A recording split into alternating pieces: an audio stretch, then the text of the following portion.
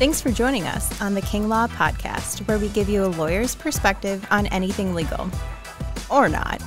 From criminal law, personal injury, and trending legal topics, we're your back pocket legal guide. An exciting day. Exciting day. One of the ones we've been looking forward to for a long time. We we don't get to talk to judges very often because they're not supposed to talk to us unless they're campaigning. So Justice Alex Renzi, New York State Supreme Court, uh, longtime friend of mine, and I was assigned to be Justice Renzi's DA in the domestic violence court a long time ago, and I came uh, out of the Rochester City Court.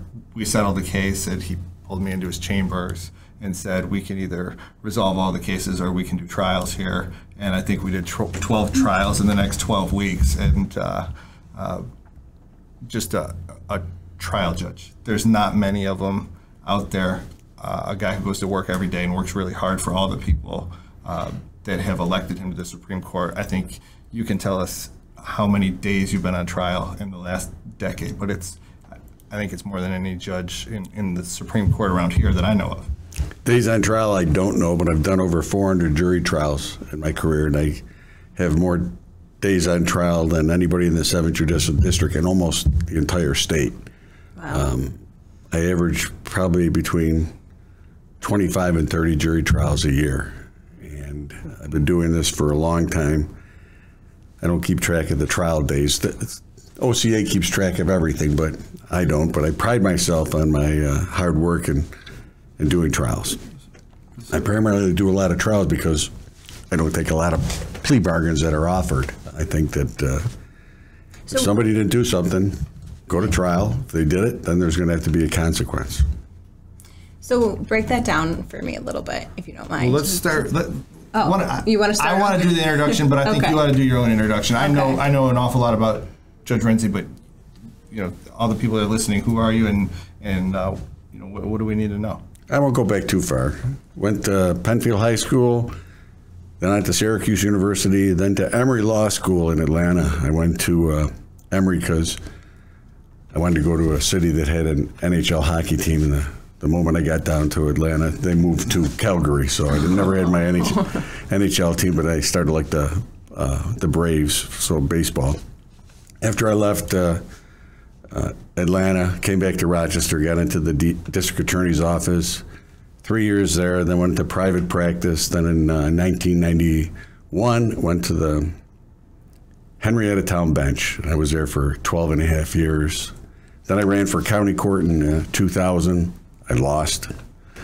And then I ran again in 2002. So I ran three campaigns 1999, 2000, and 2002. Three out of four years I was on the campaign trail. But I won for county court. County court does only uh, criminal cases, pistol permits, some civil, some evictions, but not much, primarily a criminal court. And then in 2009, was elected to Supreme Court. 14 years went by, and I'm now on the campaign trail for reelection. You've done most of your time as a Supreme Court justice, also as a criminal calendar. That's all I do is the criminal cases. I shouldn't say that's all I do. When I initially started in Supreme Court, I did a year of uh, matrimonial, well, two years of matrimonial. I was also the matrimonial judge in Steuben County for seven years. I went down to Steuben County and I divorced the happy people down there. And, uh, but that was while I was doing criminal trials. I only had to go down like three or four days a month to do the divorces. So then it was just criminal trials, all the felonies that occur within uh, Monroe County the murders, the rapes, the assaults, the felony drunk driving, the list goes on and on. You've seen it all. I have. More than I want to see, too. Oh, no. So the way Judge Renzi, it, tell that sometimes we call you justice, sometimes we call you a judge. It's okay to call you judge. You are judge, a judge is fine. You are a judge, uh, but a justice is a judge of the Supreme Court. Right. It's also a town position too. You're right. a justice of the peace yeah. or a town justice. So uh, the way we met, I was assigned to this domestic violence court. I was the prosecutor. So you had a Supreme Court judge who had done hundreds of trials and I was a relatively new DA. And we had Matt Clark, who was an experienced public defender, so they'd all been doing it, known each other for 20 years. And uh, but I was the prosecutor, and we did we did an awful lot of. I think, That one year, I did 26 jury trials in the domestic violence court. yeah, you know who else did 26 jury trials that year? The prosecutor. you, you know who had to subpoena all those witnesses? The process. Yeah, but look at the great experience you got as a, an attorney, Correct. which you need in that office. Yeah, and well, it was uh, it's unique, and people, it's it's where I've always tried to give a tremendous amount of credit to you, Tom, Anna, um, helped me when I was a young lawyer because you don't know you have to do 20 jury trials, especially in front of a judge. So I can your instructions to juries, I think I get them in nightmares. I mean, I know what you're going to say at the books. It's the same thing. The books. I don't even out. need a book anymore. Oh yeah, that's uh, funny. So, uh, but was there a big difference between county court and Supreme Court for you? None whatsoever. It was just still just doing the criminal trials. I mean, I think Tom's one of the the great clerks in the Hall of Justice in upstate New York. This is a guy who had a, a tremendous amount of experience himself as a prosecutor, a top level attorney, and then um, in a leadership role. And he's used to dealing with people and having that authority, maybe more so than, than some of the other clerks that don't have the experience. You see younger folks becoming clerks, and, and Tom's a little different than a lot of those people. He's one year younger than me. He's 64, and he has all that vast experience, and his ability to write is just second to none. So I'm lucky. So, what type of cases do you enjoy being the judge over? Believe it or not, the, the what I see on the bench is much of it's very disturbing. There's nothing that, that I really like. I like doing the jury trials because I get to meet members of the community. I can bring 100 people into the uh, a courtroom, and I'll ask them every single time how many people want to be here. Sometimes I get no hands raised. Sometimes I get like five or six, but never more than 10% of the group is going to raise their hand saying that they want to be there. And my job is to convince them that they want to be there, fulfill their civil obligation to this country, duty of citizenship, to get them to want to serve. And then when I'm done, I talk to them again, and I think most of them are always very grateful that they had a chance to see how the system works, that it's not like TV, and mm-hmm. and it's a very different process that Right. most of the community doesn't understand. It's a slower process. Very slow. It's not an takes hour episode. No, it usually takes a day just to pick the jury. Mm-hmm. So I have hundred people sitting in the courtroom just going through a process, and it's very time consuming, and they have to show a lot of patience to get through it. Do you ever wonder when attorneys pick jurors? Do you ever question like, oh, I wonder why they picked that person? Every single trial I do, I wonder why the prosecutor left this person on. Why did the defensive person leave this person on? Like, for instance, uh, just my last trial, the judge's secretary made it onto the jury. I'm not going to mention the judge's name, but that was, I didn't think he'd be left on. Prosecutor left on uh, a social worker, which I never thought would happen. Little things like that, but I don't say anything. Yeah. I let them do the, the picking. Mm-hmm. What's the what's the most important part of the trial for the lawyers? It is jury selection. That's that's what I thought you. Absolutely. Yeah. 100%. You can lose a trial on jury selection or you can win a trial on jury selection. And when you say that, what do you mean by that? Explain to the people that are listening. You can win or lose, but it doesn't make sense because no, there's been no proof. But There's been no proof, but so many people come into s- service and they have an agenda. They have an, a, belief, a belief about the criminal justice system, one way or the other, that it's not a good system, that it's a racist system, or that it is a great system and they're pro law enforcement and the, oth- the other side. And you have the two sides that come in there and you try to figure out where that person stands and their beliefs. And that's the job of the prosecutor the defense attorney. They try to get somebody who they really think can be fair and impartial. Many times, somebody makes it onto the jury who does have a political agenda and is going to make a, a decision, like they don't believe police officers, or they really believe police officers. Police officers couldn't lie, and the screening process is trying to narrow that out or get rid of those people. But they make it on the jury. It happens. so the lawyers that do a good job, uh, most of the people that listen to us are lawyers. People connected to law are law students. That's who. Um, so the lawyers that do a good job of jury selection, what do you see over those 400 trials? Some some of the lawyers are good at jury selection, some are not. I give 15 to 20 minutes for an attorney to talk to a panel of 21. Which isn't a lot of time. And you have to aim those questions at somebody's background, like where do they do their volunteer work? Um, have you ever had a bad experience with the police? Have you ever contested a traffic ticket? Things like that, so they can bring out some biases or prejudice a person might have. And you have to spend time with these people to try to get them to open up rather than just sit there quietly, not answer any questions. And the attorneys who do a real good job spend that time or might give a hypothetical to bring out somebody's biases or prejudices.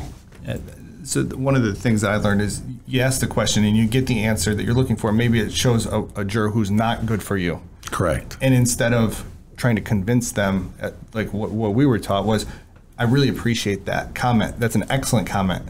Who else feels that way? Before Exactly. So you can instead of getting the one person who's got the guts to put their hand up, or you happen to strike on, well now there's probably four or five people who feel the same way. You can get all five of them, and then trying to get them for cause, where which is you know to explain to the, the people it's people. Cause means they have a legal reason why they shouldn't sit.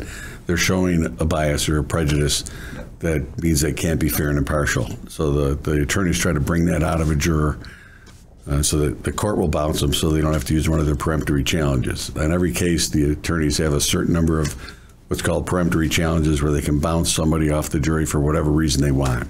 In a murder case, you get 20. In certain high or serious felonies, you get 15, and the rest, you get 10. So, using those peremptory challenges is important if you, but more important if you can excuse somebody for cause when you're doing the questioning to bring that out, so you don't have to use a, a peremptory challenge. Hmm. Well, we're talking a lot about attorneys, but I have questions about judges. So, in your opinion, I'm sure you work with a lot of other justices. What qualities make a good judge, in your opinion? In my opinion, a judge, a good judge, is somebody who makes a decision right away. They don't Okay. don't hem and haw about what they're going to decide or take a break to talk it over with the law clerks. Be able to make a decision and, and live by that decision. That's really important. And also, you have to have patience. If a new attorney's coming into my courtroom and they haven't practiced before, I'm not going to be mean to that person. I'm going to try. I'm not going to assist them in, in presenting their case or their defense. Um, but certainly, you have to show a lot more patience.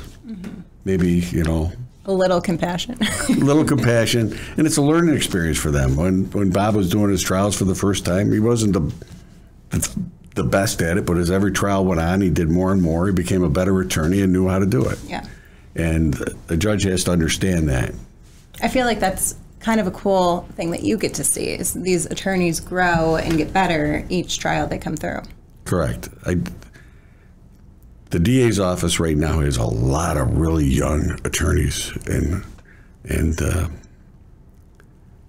they don't know their way around the courtroom yet, and it's very tough for them.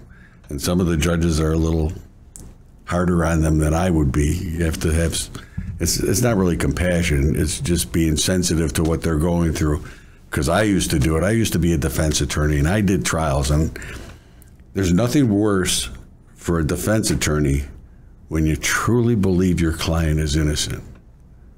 It is, I've been there. And I know when these attorneys come in and they truly believe that their client is innocent, they go home and they're not sleeping at night. Mm-hmm. You know, if you know your client's guilty, you're going to give them the best defense you can, but you're going to be able to sleep at night. Right. But when you really think somebody is not guilty, and you and you go to the wall for them, and you do everything you can, it was really tough on a defense attorney, and I really respect that for them. The prosecutor also believes that everybody's guilty. That's why they're doing the case. How many how many years did you defend cases? Twelve. So th- while you were town court justice, or While I was a town court justice, I was primarily a defense attorney, matrimonial attorney, and real estate attorney. okay, Took a lot of assigned cases, did a lot of jury trials as a defense attorney. So, what advice would you give to young lawyers or law students? Most importantly, if I was, uh, I wanted to be a litigator, I would tell them to go watch some trials. And if they came to me, I would tell them to, who to go watch. I'm not going to give names out right now, but I would tell them what attorneys are good to watch, what judges are good to watch. You need to experience it. Maybe if you knew another attorney who was going to try a case, maybe go sit second chair with them, sit next to them, see what they go through, how they prepare, how to review discovery. Mm-hmm. Really important. I don't know if we should name drop many people that are working today in the Hall of Justice, but how about the lawyers when you were learning, when you were a defense attorney, the guys from, part of the reason we started doing this and recording is I had, I had lunch with John Speranza and Joan O'Byrne, and they started talking about practicing law in the 70s. And there was the A team, B team, and they were doing murder trials and having a, a good time. And we wanted to record what uh, people saw. So, who are some of the people who were, were big shots when you were starting out? Well, you already mentioned Speranza. He was one of the best they did. Uh, Still is, I think. Napier was one of the great ones. There was uh, the old timers. Chuck Yeah. Crimi. People talk about Chuck Crimi. the Kirby Awards given in his name because he was one of the best. But there's, I, I can't think of a lot of the names, but there was the old timers would come into court and you could feel their presence. Even though Tony Leonardo did a stint in jail, he could win over a jury and win the trial and jury selection because they just loved him. He looked like a million bucks. He sounded like a million bucks, and it didn't really matter what the case was because he could he could spin it in a, a way that jurors would just love him and believe him.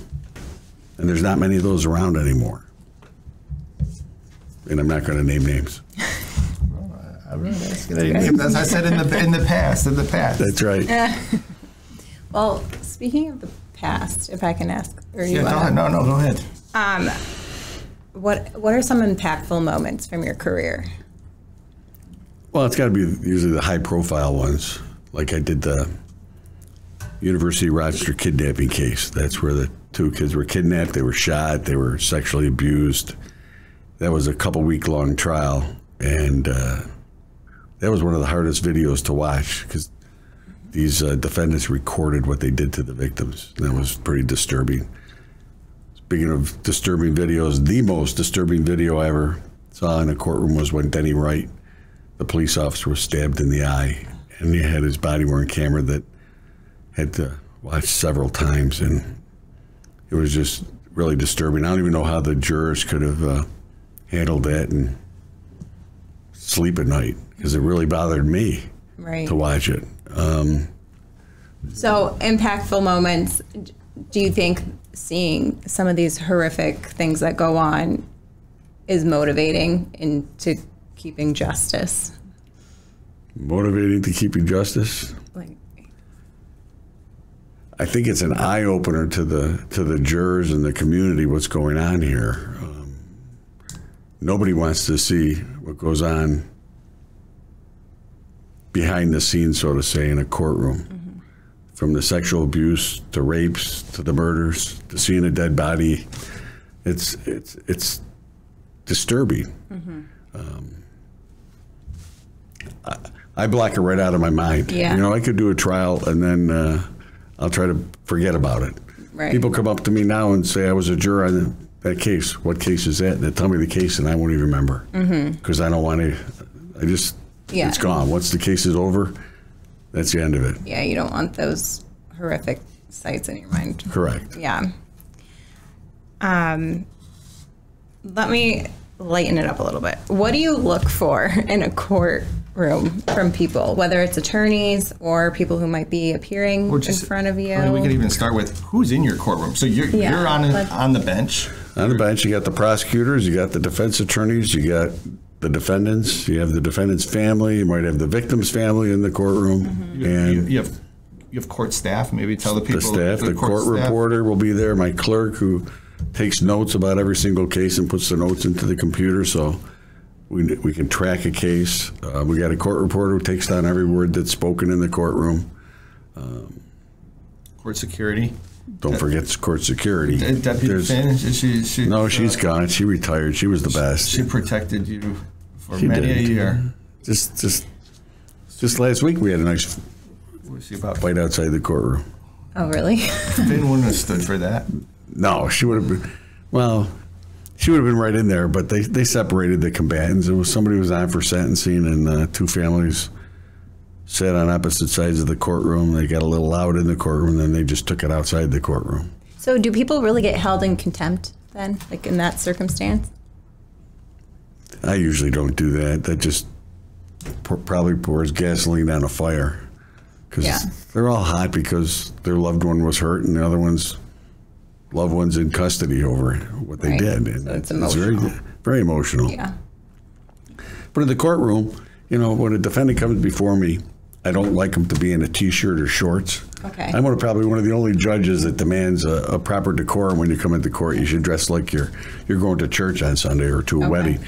You should show some respect to the court. That to, to me is really important. And I'll, I don't like the hoodies. I don't like the white t-shirts or any t-shirts for that matter. Mm-hmm. And uh, Like a button up or something. correct or Okay. a golf shirt or whatever. That's good to know. Yeah, because I feel like a lot of people don't know what to wear to court. No, no, they don't. They, I tell them, and then I make a note. They come back that way. Then I make them come back the next week, Gotcha. dressed up. I feel bad for the attorney because then the attorney has to come back, but so be it. Well, I feel like it is. Well, the going, attorney might want it if they've been practicing. They know, They know, right? The attorneys know what my rules are in the court. and most most judges' rules. If you remember when you were in my court, Matt Clark was the public defender, and he had a collared shirt Oh yeah. in the podium. And if somebody came in a t-shirt, he'd take it outside and tell them to put it on. That's a good idea. It's a good idea. Saves time. I had I, in Rochester City Court. I had Jack Elliott, and he was he was uh, tough on the shirts. He would tell him, "Mary, that was his court clerk, adjourn for a shirt." and he would put them on the next day every time. Um, and Sylvia Lopez was a public defender. She had small, medium, large, extra large, whatever size you need. She Perfect. she's got uh, a blue polo for everyone. Works. Well, I think Well, it saved us a lot of time. Sure that Was, did. that was good. But I think this is great advice and something that, you know, a lot of people want to know because you guys are used to going into court and how it works. For most people, walking into a courtroom would be terrifying or intimidating. Oh, it's very intimidating. I can't imagine standing next to an attorney when your your freedom's really on the line. Because everybody that comes before me, there's a possibility of state prison in the sentence. Mm-hmm. That's what makes it a felony. by definition, they've been indicted on a felony charge. They can Correct. do the minimum maximum sentence that would be four Minimum's years. always conditional discharge, probation is a possibility on the lower level felonies. But every every felony has a state sentence possibility. That's why it's in Supreme Court and County Court. Even the lowest an e felony you can do up to four years. Correct. So I I can't imagine what it's like being a defendant standing next to an attorney. The defendant looks to that attorney for all the guidance in the world because they don't understand the system and they count on that attorney to represent them zealously. And if you feel comfortable with your attorney, you're going to feel more, a little more comfortable in court. There's so many defendants who send me letters who complain about attorneys. Most of them I just blow off. Some I have to address with the attorneys, like they're not visiting me at jail. Um, and I talk to the attorney. I say, go visit the guy in jail.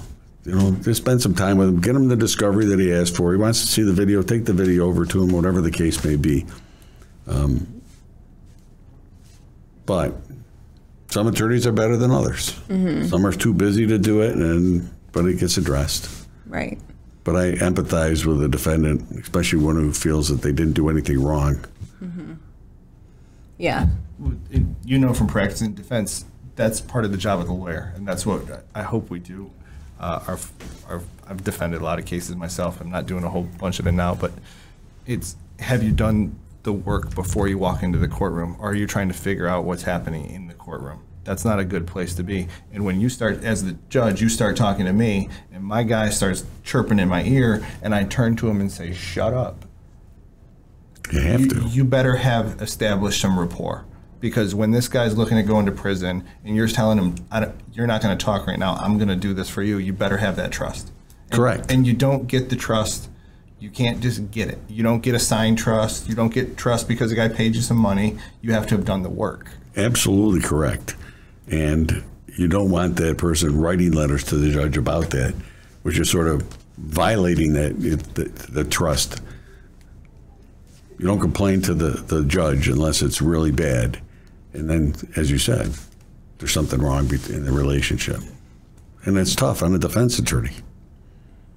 yeah I think a lot of the defense attorneys bring it on themselves too. Not always. True, I've- true. I've, had some really tough clients who, a lot of times, it's usually mental illness um, or serious drug problem and mental illness. But a lot of the times, some of your toughest clients can be the smartest clients. And- Correct. and they are sitting in a jail cell and they have they're fixating on their freedom. Well, you can't blame a guy for fixating on his freedom and who's smart enough to do the research to understand what you're supposed to be doing and you're not doing it. Do you want to blame that guy or you want to take a look in the mirror? That's the Right. And many times, as an attorney, you have a chance to review the discovery. You've talked to the prosecutor. You know there's a reasonable offer on the table. Let's hypothetically say your client's out of custody and it's a charge that they're offering state prison. It's really difficult to convince your client to take an offer to go into prison from out of custody. Really hard, even though you know it. Your attorney's telling you it's a, is a best deal you can get, and they don't want to go. And as a de- as a defense attorney, you got to say, well, you got to really consider this offer because if you go to trial, he's not going to punish you for going to trial, which I would never punish anybody for going to trial. But if you get convicted of the higher offense when they're offering you a reduction, there's going to be more of a consequence. There has to be. Right. How often does that, have you seen that happen where there was a really good deal, they went to trial, and it actually went in their favor? somebody gets acquitted or less acquitted, just- it yeah. happens. There's no question it happens. Is it often? No, it's not often. Acquittals are, are uh, I would say, probably I'm guessing 25% of the time Okay. of the top charge. I'm not saying you get acquitted of everything, but the top charge. Right. Interesting. So you alluded to it in the beginning. You talked about um, you're probably more active in deals, negotiations, uh, what you accept, what you won't accept than other judges. Correct. So explain to the people that are listening what we're talking about by that. And you know what I'm talking about, but you have so it's a any plea bargain. We're talking about plea bargains. Let me just give you a hypothetical example. Somebody's charged with a robbery in the first degree. They took a gun into uh, a, a 7-Eleven and they pointed at the guy and give me all the money, and he runs out. It's on video. And they make an offer to him of a robbery in the second degree, redu- reduction, and they offer him probation. I'm not going to go along with something like that where somebody actually points a gun at somebody else and they rob somebody. Mm-hmm. It doesn't matter if he says that the gun was a BB gun and he was high on drugs and he has a drug problem he needs to address it, he's not a bad guy. There still has to be a serious consequence for serious crimes. There's a Yeah, so- perfect example. So, it- for the people who don't know, that you take a step back. Any agreement is a three-way agreement. The prosecutor has to agree, the defense has to agree, and the judge has to agree. Most important, the judge has to agree. Well, if if the prosecution and the defense can't come to some agreement, we never even get to the judge to ask for approval. True, unless the defense counsel says, Judge, what if I just plead to the charge? Will you give him probation? The DA's offering state prison. Will you give him shock probation, which means do some time in jail followed by probation? And that's when we sometimes get involved in the plea bargain. Yeah, that's like a not a reduction though. That's a straight Correct. plead- That's plead pleading to the top count or the whole indictment. Right. the. Um, but why do you think it is that you get involved more than some other judges? And uh, I don't think I get more involved more than other judges. I think I take a tougher stance than most other judges. Well, I I don't go lot- along with the plea bargains. I think a lot of judges say you're the prosecution, you're the defense. If you two can agree, I'm probably going to go along with it. They don't. They don't stand in the way of a lot of deals. Um, That's very true. but uh, I, I'm just trying to make sure I. I know, I know, but give you the. I'm just, I'm more, I'm tougher on people than But I think probably that- most of the judges. Well, in some ways, I think it also comes with the experience of the confidence of doing all these trials. Like, Right. th- some judges don't want to do trials. That's the secret. There's a few judges that have been on the bench a, a long period of time and still have not done a trial. And So you would say that you're a tough judge, but is it because of the legal aspect or the being held accountable aspect or Both. A combination of everything. I'm, I'm fair.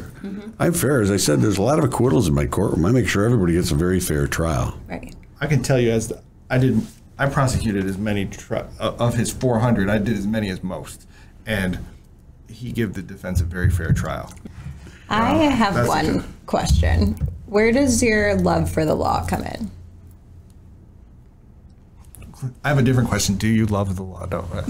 Of course, I I'm love the assuming law. you do, but where did that come into play? What made you decide I want to become an attorney and Uh, go I on didn't, this journey? my goal was not to become an attorney. I went to uh, he accidentally enrolled for law school. Hey, no, I went to law school because I wanted to be an FBI agent, and at that time, the FBI was only uh, hiring lawyers. okay. So my whole goal was to be an FBI agent. I got out of school. Um, as a matter of fact, I even took the CIA test. Didn't do very well on that one. But I went through the process, the FBI, and I did, then I just decided I wanted to go home. And I went back to Rochester mm-hmm. and started an internship at the DA's office.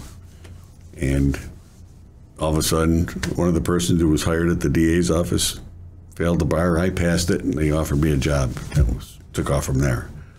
So ever since then, loved the law. you love the law. It was never my goal ever to be an attorney. never my goal to be a judge either. It just happened. I acc- accidentally got nominated for the Supreme Court twice. accidentally, Well, correct. Yeah. Yeah. So, what do you enjoy about being a judge? If I could do a trial every single day, I'd be on trial every single day if I could. That's what I Yeah. like the most. It's the funnest part. Fun. Yeah. Te- If you're comfortable, tell them about the trailers, the DA trailers they used to work out of. What? So back in Henrietta, you had the town hall. Then behind the town hall was two trailers, and I'm talking old trailers. And one half was the court, and then the other half was the New York State Police. And inside the trailer was the judge's chambers and the DA's office. And I was assigned to the DA's office out there for um, almost two years. I had the greatest secretary you could ever ask for because when you worked in the towns, you didn't have somebody hovering over you, uh, a superior, and they gave you some leeway. So if, if I wanted to go play some golf, I could go out, and my secretary would say he was out meeting with some victims and cover, cover for me beautifully. Yeah, the And grass. it was just great. And then uh, we had a big, nice picnic table in the back, and we were cooking out one day, and I had my table grill. I left it on too long, and the table caught on fire. Whole thing's up in smoke, right outside the trailer. Within two weeks, they closed the satellite office and moved all the town people downtown. Oh, the, the DA office has never recovered. And it was all my fault. No. Uh. well, at least you took accountability. I did. Who was who was out in the trailers with you? Doug Randall, Dan Arelli were the two big ones when I was out there. what, what's the time frame on this? Like, how long ago? Was Oh, we're talking in the, the late 80s. Okay. So we're talking a real long time ago. The, Shortly thereafter, the trailers were demolished. the DAs who worked back then, they all talk about these trailers. The, the, this was It was the greatest. the best practice of law, and, and uh, the cops would come to the trailers for the meetings. And Yep, a lot of meetings at the with the police there. Didn't have to go very far. It was the state police were right next door, and the judges were right there. Their chambers were right there, so you're talking to the judges all the time. And back in the old days, you're talking the '80s. Every time we were done with court, we would go out to a local establishment, defense attorney, prosecutor, and the judge, and we'd go out for a couple hours. Nice. Almost every single time we had court. It was all night court. it, uh, you think that helped things get done? Oh, no question. Yeah, a lot of people, and, and Joan and John, they talk about that back in the in the day, um, and there was more of that around. there was a lot more socialization.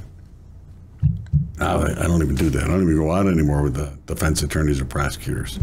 Used to be after in my when I started in county court, at least after a trial, we'd head to the local establishment with the defense attorney and prosecutor, and obviously one would be happy, the other wouldn't be, but at least you'd go out with them and say you've gone through a long two weeks or three weeks on trial and just talk about what happened. Mm-hmm.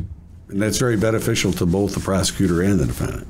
Right, the learning experience. Plus, Right. we talk about this a lot too. Like networking is a big part. It sure of is. Being an attorney and why it's important. And Well, in the criminal practice, yeah, you think you're good this week, and guess ne- next week, you criminal defense lawyer, you're going to do some losing. You're going to Correct, you're gonna lose. and you're going to get tough cases. You're going to get tough clients.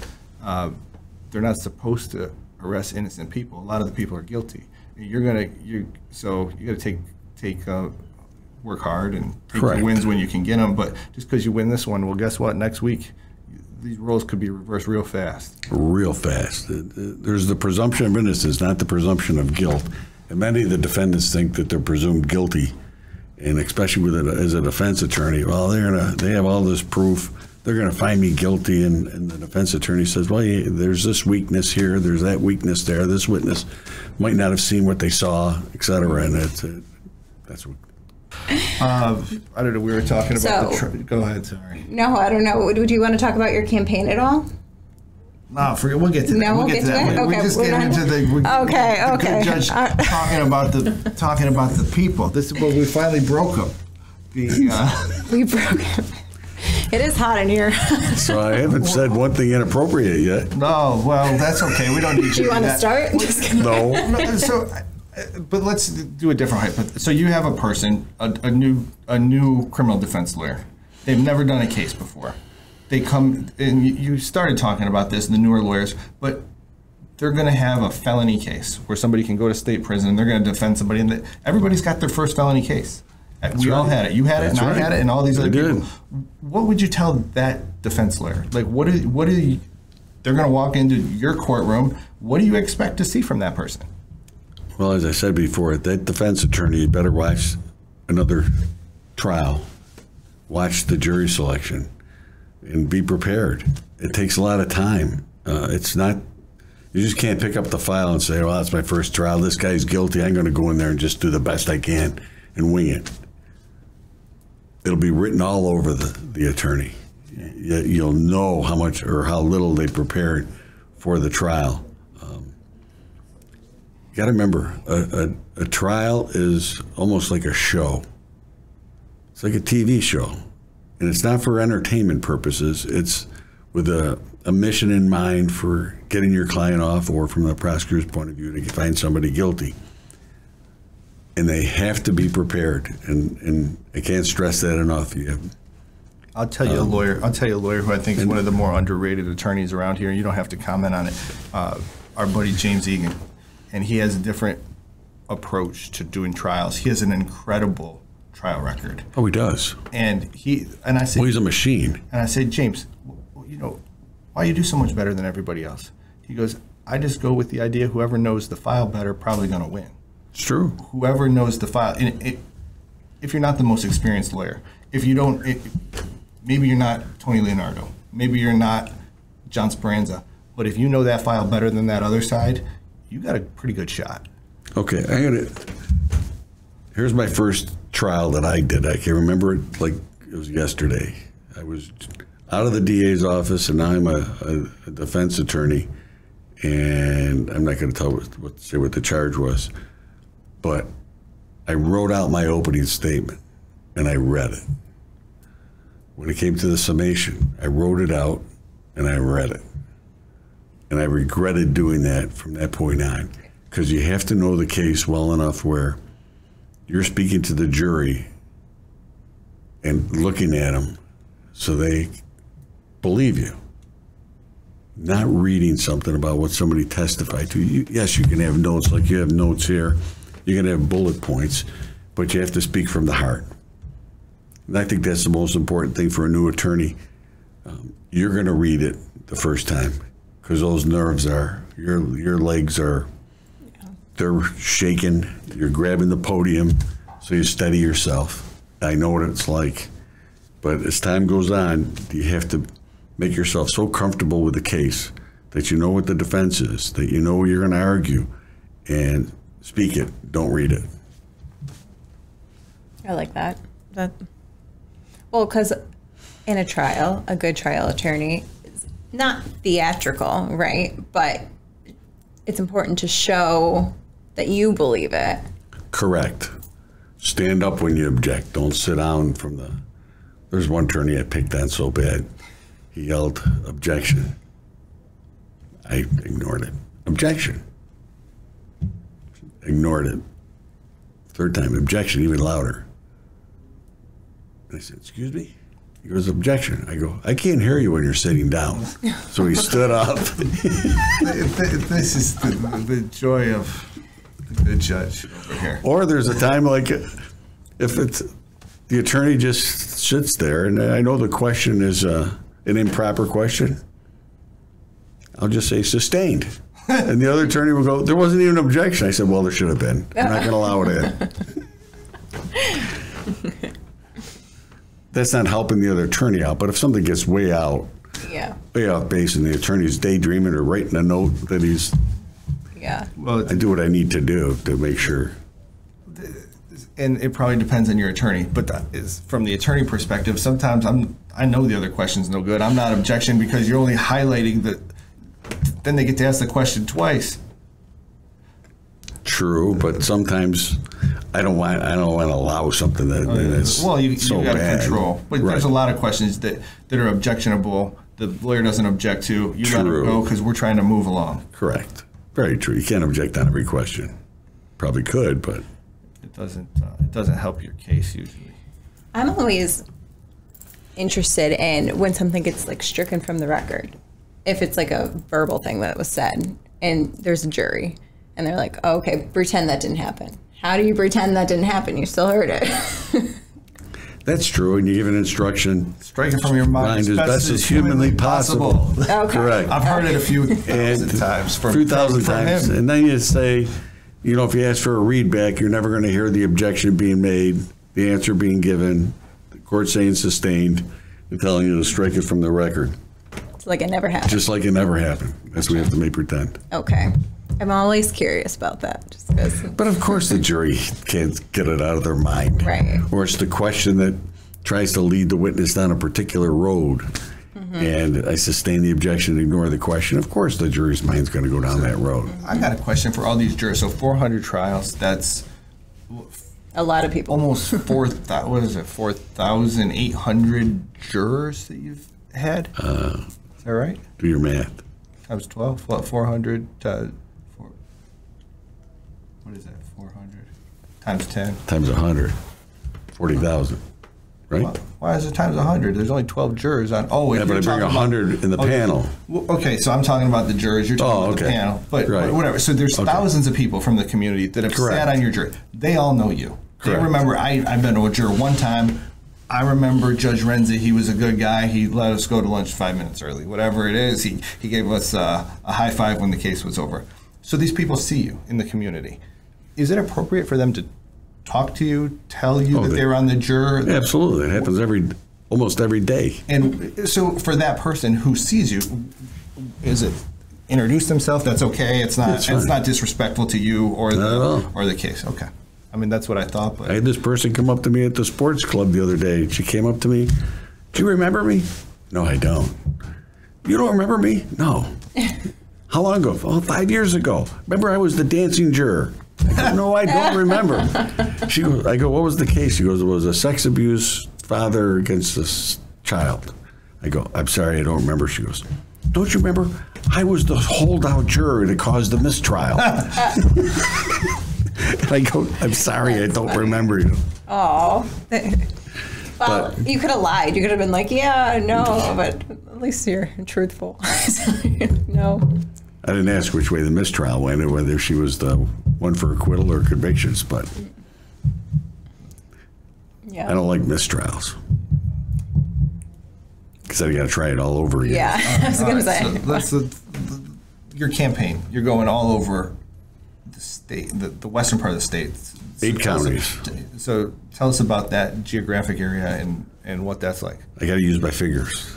It's Monroe, Livingston, Steuben, Yates, Wayne, Seneca, Cayuga, and Ontario. So I got to travel through all those counties, parades, festivals.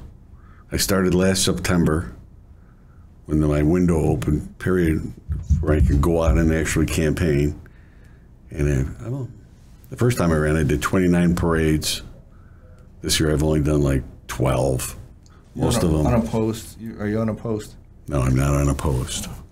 Uh, well, I, th- Okay. I got a que- I got another question though. A serious question is: so judges are supposed to generally be apolitical, and that doesn't mean they don't have their own personal views, but you have to be political to become a judge. Correct. And then the job is supposed to be nothing to do with politics. Impartial. Right. So for 14 years, you're out of politics, can't take your political views and express them in any way, except at home. And then all of a sudden, the window opens up, and you can you try to curry the favor of the political parties. I'm trying to get tried to get the conservative endorsement, making sure I got the Republican endorsement. you got And you have both of to- those, right? I did. But you have to go meet with the leaders and you, they ask you questions, not some dissimilar to what's asked today. But I can't tell them what my opinion is on the issues, the president. I can't comment on the president. I can't comment on what's going on in Congress. I can't comment on any laws other than I have to say I'm going to follow the laws. No matter whether I disagree with them or not, they're laws and I'm bound by my oath to enforce those laws. You know, I could, you might ask what my opinion is on the Second Amendment. Could I go out and say something about it?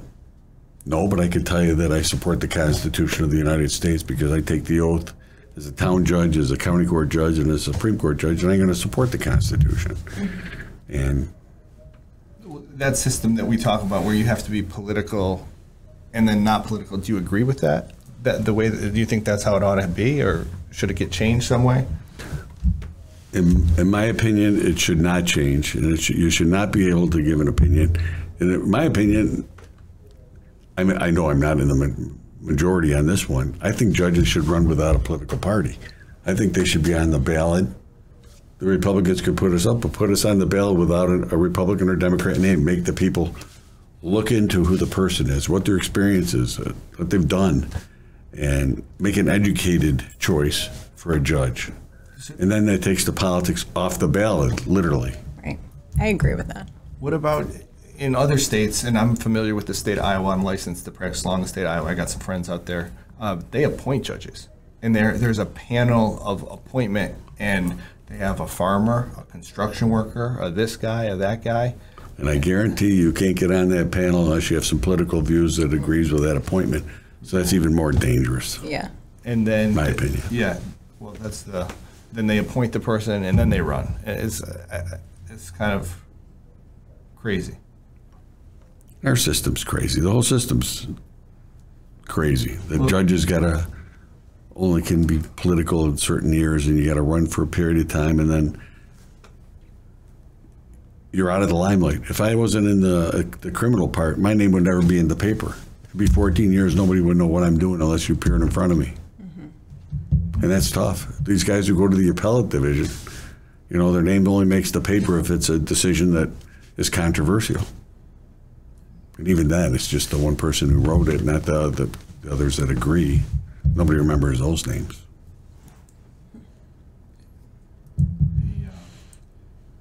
You talked earlier about the respect for the system and and what people wear, but the system. I mean, I know I believe in it. You've been part of it for a long time, uh, but it's as a as a judge, you control people's freedom. I mean, that's the that is is also. Uh, It weighs heavy on I, well, I was going to say there has to be a level of stress and pressure involved in that that people people you know probably don't appreciate, right? You have no idea about the, the, the pressure on a judge and what a judge thinks about all the time when he goes home and what he takes home. What he sees during the day and then try to go home and block it out. Sometimes I go home and watch a lot of Law, law and Order because I still enjoy the Law and Order parts, but because my wife does. But um, there's so much that happens in the community that the people don't see. There's so much uh, violence in the community right now, and the laws are being criticized. Every paper you open up, there somebody's commenting on the bail laws, or a judge is releasing somebody, and they're out committed another crime, and they criticize everything about the criminal justice system. And then you got the uh, the Office of Court Administration pushing for modifications of the laws, and judges don't participate in that. We can be critical of it, and if it's for the betterment of the the system, but basically we're we're gagged, and it's not.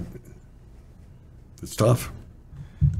It's interesting to me, you have judges of different uh, political parties and maybe different political views or views about how to be a judge, but then you see people in the Hall of Justice, um, maybe they have different political views, but you're friendly and behind, you know, in the, in the walkway behind all the courtrooms, you're still friendly with your colleagues. And I think. Of course. th- These are, there's not many people who really experience um, you know that maybe that pressure that you're talking about or the experience there's only that's a pretty small pool and to see you know that bond between judges kind of um, i mean i don't know what's that like We all respect each other's opinions. You have to. Um, people interpret the law differently. You know, I might find probable cause or not find probable cause. Another judge would do the exact same hearing and find the exact opposite. You still respect what they're they're doing. You don't badmouth that judge or criticize that judge because that would be wrong. Uh, they're all they're all human beings, and yes, we have uh, breakfast every Thursday with all the judges. what's that We like talk. Well, it's interesting. It's it, we meet for about an hour, hour and fifteen minutes, and just tell stories of what happened in our court. Maybe something came up that everybody should know. Uh, we talk about that, and more of a social hour than anything. I always think that like the, you hear the stories of uh, rbg and scalia very polar opposites and they're friends it, it's We we definitely leave politics out of those breakfast meetings. That's probably Oh, you have good to. idea. You have to. Yeah. Even though we'd be allowed to talk about it because between judges you could talk about anything. Mm-hmm. Um, you get your opinion about uh, the laws, but yeah, we, we avoid it like the plague. yeah, Because people have strong views. When you, when I grew up, I have my values that were instilled by my parents. They have their values instilled by their parents. Their values and views may be totally different than mine, but still, got to respect it. right. uh, any any other parting words get out there vote Of course, get out there and vote. what else do you want to say anything anything on your mind today If anybody needs an attorney, I strongly suggest you use Bob King, one of the best attorneys in, in uh, Monroe County. We've got clients in 30 states now, so Do you really? yeah. Thanks, Thank Bob. you. That concludes this episode of the King Law Podcast. If you've enjoyed this episode, make sure to subscribe and check out our socials at King Law Attorneys. And if you've happened to have been injured or charged with a crime, now you know who to call King Law. Take charge.